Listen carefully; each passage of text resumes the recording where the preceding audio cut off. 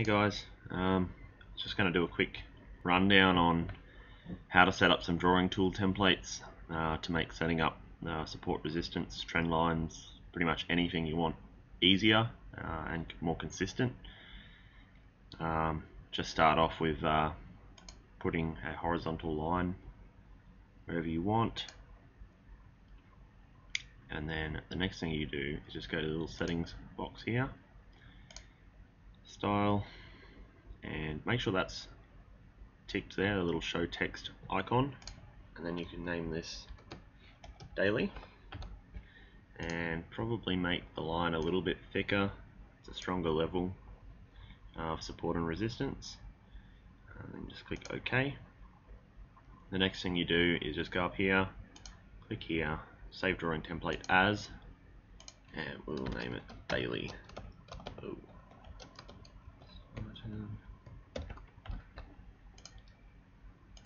that's all you got to do and it's set up. So now I can just click along here put in a resistance and to set that line up exactly the same just click that. See it's labeled automatically. No more stuffing around.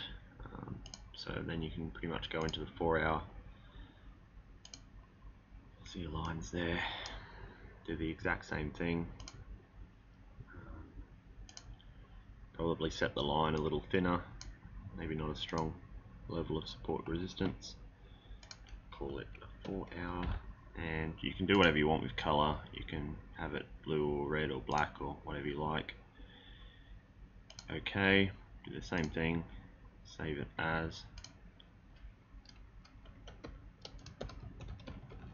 See I've already got a copy of these but anyway. Um, same thing again. Just click put there.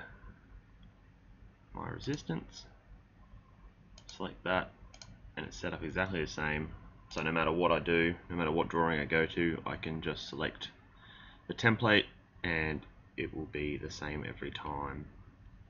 Uh, the only other thing I find useful um, is you can set up some lines so that if you're in a four hour uh, time period and you sometimes trade in maybe a five minute.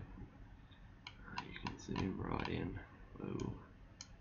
a crappy chart for it. Anyway if I am doing some stupid crap like putting Elliott waves here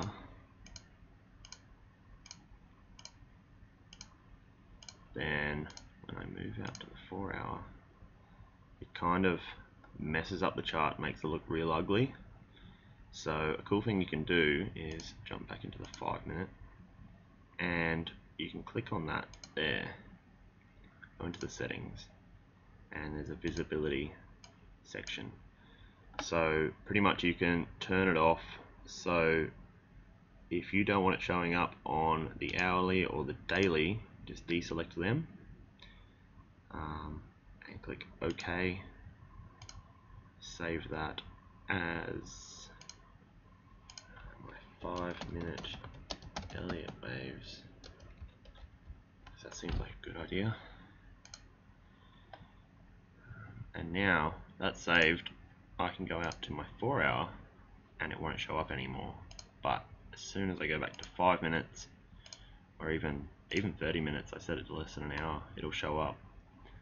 Um, so that can be handy when you want to play on different time frames, but you don't want all the clutter of uh, having all them drawings all over the smaller time frames showing up. Anyway, uh, hopefully I explained that half decently, but just ask if you're not sure of something, and I'll give you a hand. Cool.